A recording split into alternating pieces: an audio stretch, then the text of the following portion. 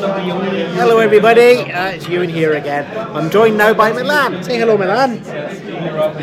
Lovely. Now, Milan. Now we're going to we're going to teach you three important things now. The first one is, Mummy is always right. Daddy is always wrong. Got it right? Good. Got that one. Okay. Second rule. Second rule. Max crash. Got it?